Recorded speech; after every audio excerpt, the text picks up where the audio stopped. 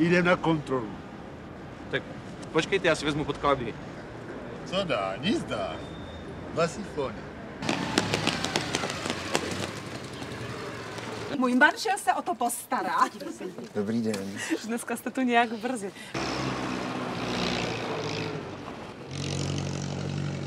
Všechno se stane dneska v noci.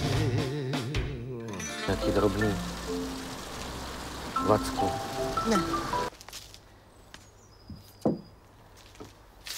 To je jako když uvaříš vejce.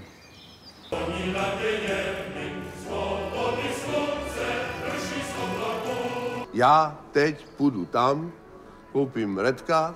Inženýre, a na co máte ty kufry? Kvůli zátěži, ne? Vole, tak poslouchejte, ty debile.